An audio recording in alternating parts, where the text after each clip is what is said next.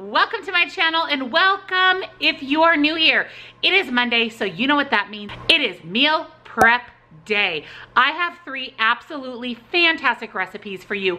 Breakfast, lunch, and a dessert. That is a mix between a brownie, a cupcake, and it's frosted. So you definitely don't wanna miss out on this week's recipes. If you're new, make sure that you are subscribed, hit the little bell next to the subscribe button so that you don't miss a beat with videos. I do upload most days of the week, so make sure you're subscribed. Thumbs up this video if you love meal prep. And without further ado, we've got some recipes to make, so let's jump right in.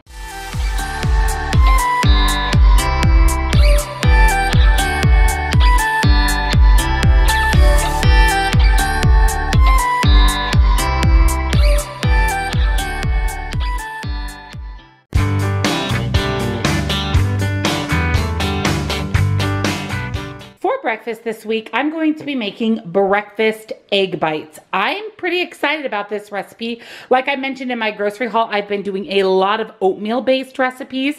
So I am ready for some protein based recipes. So let's take a look at what's in the egg bites. First, you'll need some unsweetened almond milk or milk alternative of your choice. Oil, I have avocado oil here. About a half of a red bell pepper, diced ham, green onions, red onion. I'm going to add some basil. This is not in the original recipe, but you guys know I love basil, so I'm gonna add some of that. You'll also need eggs, of course, salt and pepper, which is also not in the original recipe. I am adding that. And then some of the Trader Joe's light shredded cheese, or really any light shredded cheese. So let's get started. So the first thing that we're going to do is chop. We've got some chopping to do. I'm gonna go ahead and chop up my red onion, these three green onions, about half of this red bell pepper, and a little bit of basil. I'm not sure I love basil, so I'll just dice some up. I'm going to do green onions and basil in one bowl, and red pepper and red onion in another bowl. So let's chop.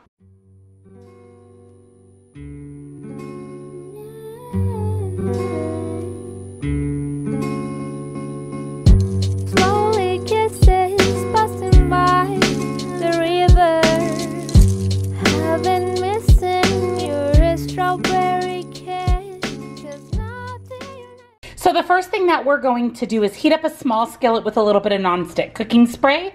We're going to go ahead and add three ounces of diced ham. I did weigh that out on my food scale. And then we're also going to add the chopped up red onion and red bell pepper. And we're gonna let this cook down until they're translucent and cooked through.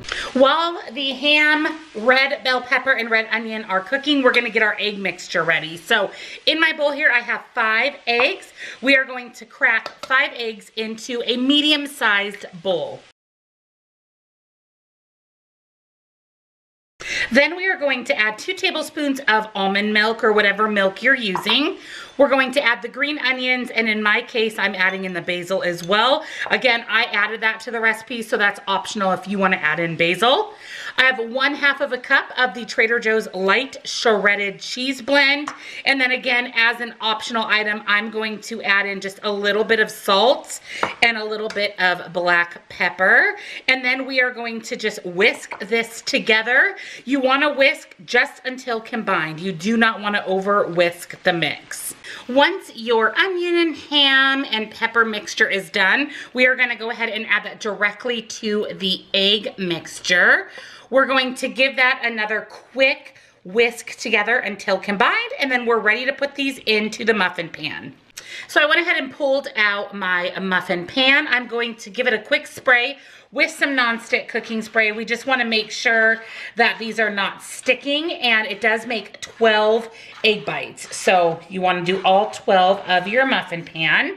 And then I'm actually going to use the large scoop that came in that three scoop pack from Amazon. I will go ahead and link it down below for you. And I'm just going to add the egg mixture into each of the muffin cups. And then this is going to go in the oven 350 degrees until it is cooked through. All right, they are going in 350 until they are cooked through probably about 15 minutes or so. The egg bites are out of the oven. Don't these look absolutely delicious? I am going to let them cool for just a couple of minutes. I'll pop them out, put them in a container, and kind of show you what I'm gonna pair with them for my breakfast for the week. I'll give you points and calories. So here are my egg bites. I'm going to add just a small piece of wax paper over the top of these because I do have three more to put in this container. And then each day, my plan is to have between two and four, just kind of depending on how hungry I am. On days that I'm working out, I'll probably have a few more because they are so low point in calories. So speaking of points in calories, so it makes 12 little egg bites. They are only one point per egg bite on blue and purple and two smart points per egg bite on the green plan. And each egg bite, 57 calories. So you can have four of these for just over 200 calories and a big punch of protein. So again, it just kind of depends on how hungry I am. I'm going to pair these with some fruit. I have strawberries, blueberries, honeydew melon, and one more. Oh, mangoes. I have mangoes for my imperfect foods box. So lots of fruit, and that is going to be breakfast.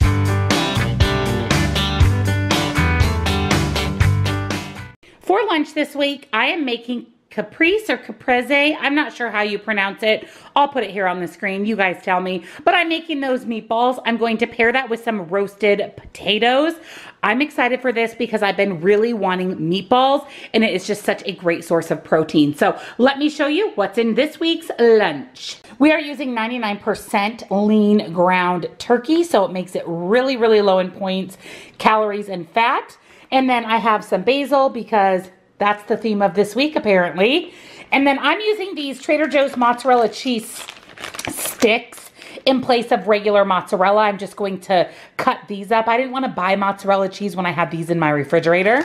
And then some cherry tomatoes, salt and pepper, flour and oil. And then for the potatoes, I have these red potatoes from Trader Joe's. I am going to drizzle a little bit of oil on those. And then I'm actually going to season them with the Dak's, nothing but the ranch. You guys know this is my favorite thing ever on potatoes. It is absolutely incredible. This is the best ranch seasoning I've ever had. It's affordable. It's clean. There's no salt, no MSG. Really, truly a complete game changer. You can make dips, dressings, add this as seasoning. I love it so much. And being a clean seasoning, I love to support Dak's. They're a small business. They are the nicest people. Highly, highly recommend. I have all of their spices. They have over 20. So definitely check them out. I do have 10% off and free shipping. So you can't go wrong definitely grab the ranch and any of the other seasonings. They literally are all delicious. So we're gonna put this on the potatoes. So let's get started making some lunch. So the first thing we need to do is chop. I am going to chop up about a half of a cup of cherry tomatoes, three ounces of mozzarella or three cheese sticks, so that makes it really easy, some fresh basil, and then chop up our potatoes to start the roasting.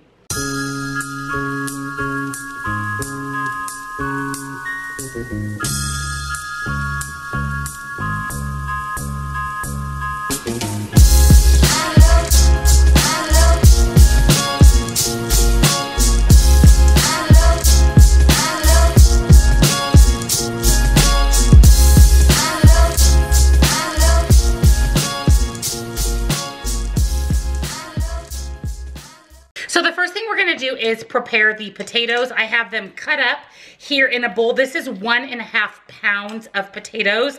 I just weighed them out on my food scale before I chopped them up. So to this, I'm going to add one tablespoon of oil because I do want my potatoes to have a little bit of avocado oil or whatever oil you use on them. It just helps everything stick together really well. And then I'm going to add my Dak's and I just liberally add it because it's zero points and it is so good. You guys, I'm not kidding about Dak's. It's one of the products that I recommend really the most to you. It's one of my favorites. I've been using it for years and years and I just love it. I love their non-salt, no MSG, real ingredient, clean seasonings. They're the best. So I went ahead and just gave that a quick stir. You just wanna make sure that the oil and the seasoning is incorporated in the potatoes. And now let's put together the meat for the meatballs. Now let's do the meatball mixture. So I added my one pound of 99% ground turkey here to my bowl. And then to that, I'm going to add my chopped up basil. Now the recipe wants a couple of tablespoons of chopped basil. I probably have more like maybe a third of a cup, which is fine with me because you guys know I'm basil obsessed. I love it. And then I have my chopped cherry tomatoes. And I have one quarter cup of flour. This is the wheat flour from the Thrive Market. You guys need to check out Thrive down below. You actually get a free gift up to $22 value when you join Thrive. Their prices are 30% less than the grocery store and they have thousands of foods, snacks that you can't find anywhere else. So check out Thrive down below. Three ounces of chopped up mozzarella cheese. And then we are going to season with salt and pepper. And I would say just go ahead and do that to taste. How much salt and pepper do you like? And then last but not least, we are going to add a tablespoon of oil. And then stir this all together. Make sure everything gets combined really well. The flour is partially what binds your meatballs. So just make sure everything is combined. And then we are ready to roll these out onto a sheet pan and get these potatoes and the meatballs into the oven. So here's the meatball mixture uh, yum. So again, from that same three scoop pack, I'm just using the medium size scoop to scoop out my meatballs. And then I just have a quarter sheet pan here. I also bought these on Amazon. I'll link them down below for you. And a sheet of parchment paper. And I don't really care how many meatballs I get necessarily, just the number that I get out of the recipe. I will divide that by four because this recipe makes four servings. So I'm just going to drop the meatballs onto the quarter sheet pan here and then we will get these into the oven once we put together the potatoes.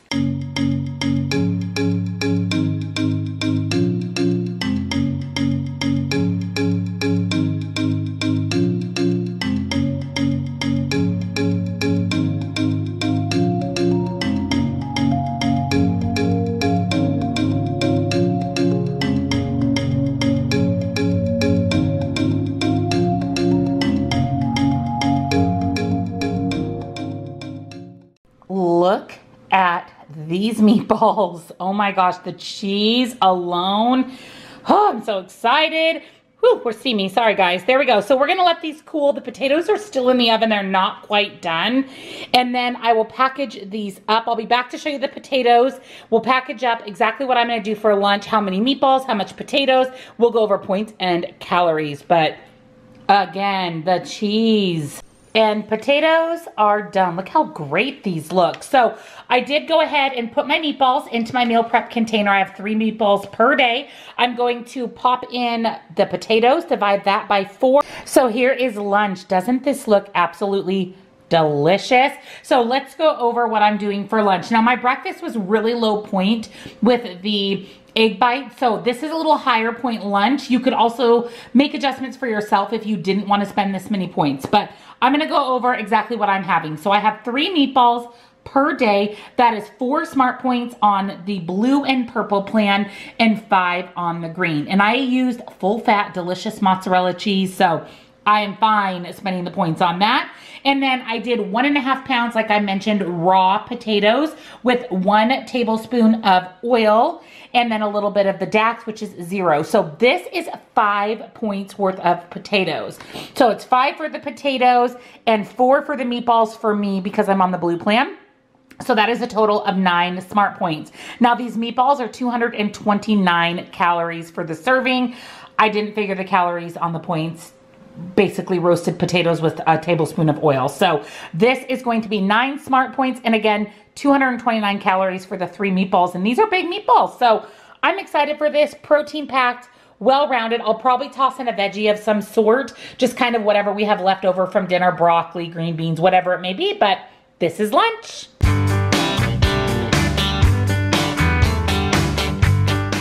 And for a dessert or sweet treat this week, I am stoked for this. I am actually making brownie cupcakes. So we're mixing brownies and cupcakes together and we are going to frost them with a mint fudge icing. Now you can change the flavor of the icing, but I'm going to do mint because I love all things mint. So let me show you what's in our cupcakes and the frosting. First, you need some protein powder. And of course, I'm choosing my LivWell plant protein. This is in the cacao, basically their chocolate version. 17 grams of complete protein. So this is a real whole protein source. You guys know my love for LivWell. They have chocolate or cacao, vanilla, unsweetened, which is great to add to anything that you don't want flavor in. And they also have a coconut and all four flavors are amazing. I do have 10% off for LivWell. I will put it down below for you guys. So definitely check it out definitely pick up LivWell. It is plant-based, but it does not have the gritty, odd texture and taste of plant-based protein. It is smooth and creamy and incredible. And it ranges from one to two smart points per scoop, depending on the flavor. So the cacao is actually two smart points per scoop, well worth it, and 17 grams of complete protein. And then you're going to need honey or agave. Cocoa powder, I'm just gonna use cacao powder. That's what I have on hand. You can use any nut butter of your choice. I have cashew butter, vanilla extract, salt, eggs. You can use canned pumpkin, but I have this organic sweet potato puree, so I'm just gonna use this. If you guys didn't know, canned pumpkin is really squash anyways, so this will work just fine for the recipe. And then a can of black beans. I know, how weird is that? I'm using the mint extract, of course, to flavor my frosting. You'll need six packets of sweetener. I love the whole earth. I'm using that. And then, of course, chocolate chips. So these are Lily's. So let's make some frosted cupcakes. So we're gonna start on the cupcake. So in my bowl here, I have one can of black beans that I drained and rinsed really, really well. So make sure that you are rinsing them really well. To this, we are going to add vanilla extract, about a teaspoon. I have one quarter cup of cocoa powder. It's gonna give it that nice chocolatey goodness. I weighed out two ounces of Lily's chocolate chips on my food scale. I also have cashew butter, and this is three tablespoons of cashew butter, also weighed out on my food scale. That's a little tip for you guys. It is much easier to weigh it out on a food scale, especially something like a nut butter or honey, than putting it into a tablespoon and trying to dig it out. So take advantage of your food scale and just weigh it out. I also weighed out the honey, again, on my food scale, and this is four tablespoons. So we're gonna add that and see how much easier that is than filling up a tablespoon four times and having to try to dig it out. And then we are going to put in just a pinch of salt because the salt will bring out the sweetness. I have two full eggs and one egg white. And then I have one third cup of canned pumpkin, or in my case, sweet potato. And then the last thing that is going in before we grab out a hand mixer, you could also do this in a blender or a food processor, whatever you have on hand, is we are going to add these six packets of sweetener. So I'm gonna go ahead and add those. And then let's get out that hand mixer and mix this together. So here is the batter. Now, if you are going to put this in a food processor, make sure that you do not put the chocolate chips in until you've processed the ingredients. It will just shred up the chocolate chips. Then I have a muffin tin here that I've sprayed with just some nonstick cooking spray. I used the Chosen Foods avocado. And then I've got that same scoop I used for the meatballs. Of course, I washed it.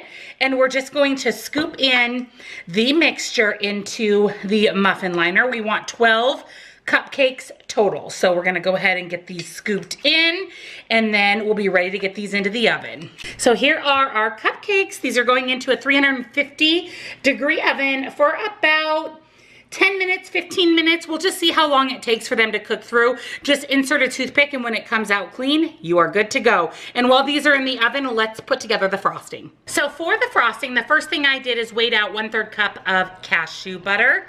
To that, I'm going to add one cup of canned pumpkin, or sweet potatoes, whatever it is that you have. I don't know why pumpkin is so hard to find these days. And then I have two tablespoons of honey. So I'm gonna go ahead and add that. And again, weighed out on my food scale, so much easier. So we're gonna add the two tablespoons of honey, one quarter cup of cocoa powder, and then we're gonna do two scoops of our LivWell protein. So we want two scoops of protein powder chocolate in this frosting. So there's one, and two. And then last but not least, we want some mint extract, about a half of a teaspoon. I may put in more just so that it's a little bit more minty because I want that really strong mint flavor to come through. You could do vanilla, you could do strawberry. I mean, you could kind of do whatever you wanted as far as flavoring the frosting, but I am gonna stick with the mint because like I mentioned, I love mint. And then I'm just going to stir this together until everything is nice and combined. And then this is going to be the frosting. And there is the completed frosting. We're just going to set this aside, keep it at room temperature until our cupcakes come out of the oven. I just pulled the brownie cupcakes out of the oven. These look so good. These need to cool completely before we frost them. So I'm going to let them sit for about 20 minutes until they are completely cooled. So here are the brownie cupcakes. So this is what they look like. They're definitely denser than your traditional cupcake. And that's just because they are more like a brownie, which is even better. So what I've done is I've added the frosting that we prepared into a Ziploc bag. I'm going to cut the corner here and then we're going to frost these delicious cupcakes.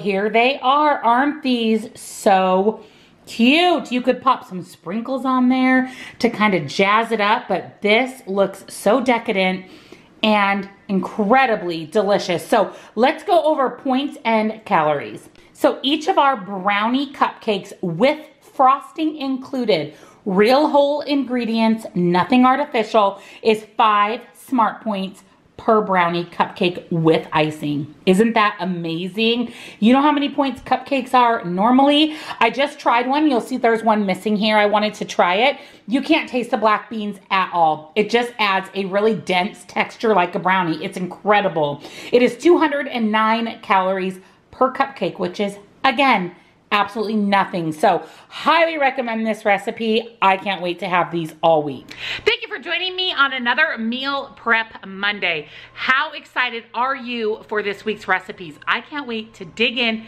every single day. And that dessert, oh, heaven in a WW friendly dessert. I cannot wait. So make sure if you are interested in recreating these recipes that you click the little down arrow right under the video. That'll take you to the description box. In the description box, you're going to find my website, which is where all of these recipes will be, as well as the links and discount codes to some of the products that I shared with you today and everything that I can save you some money on. So it is a huge win. Also, you'll find the link to head over and join my Facebook group. We would love to have you be part of our community. We are 16,000 1,000 members strong and growing. So head over and join us there. Give this video a thumbs up if you love meal prep day because who doesn't love meal prep day? And of course, I'll see you all in my next video. Happy Monday.